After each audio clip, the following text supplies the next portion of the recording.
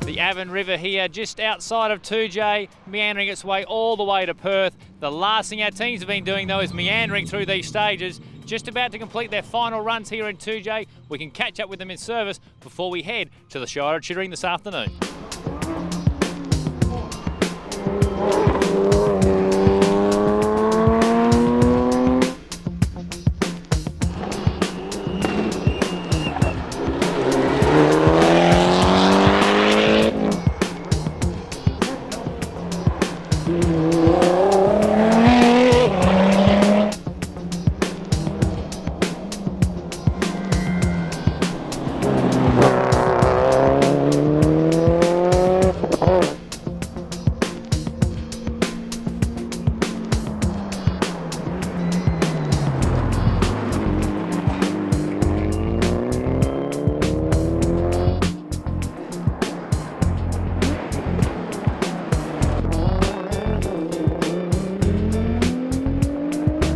How's Operation Fightback going, mate?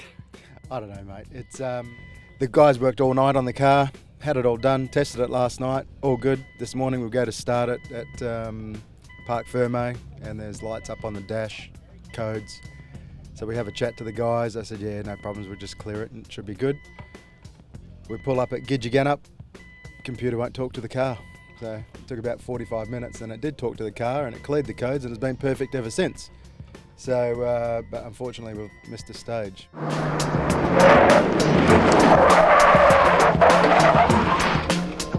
Graham Finesse been doing a fabulous job, mate, and someone said your world was turning around on you in one of the last couple of stages there. Yeah, I got a bit light-headed and felt I had a bit of a spin, but uh, yeah, we improved on the second run through Kunda West.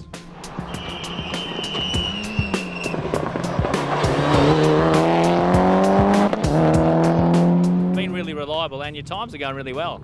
Yeah, well, that's something to do with Tracy navigating a lot of full faith in the notes, you know, really. And it's, I suppose, unsung heroes, you never really talk about them much, but full faith in what she says. And we do write good notes. Had a couple of years together now, even the gravel, and it's sort of working together.